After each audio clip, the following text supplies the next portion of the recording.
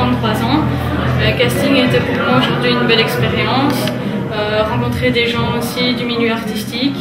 Euh, très sympa en tout cas, ouvert à tous et c'est ça aussi qui m'a motivée. Voilà.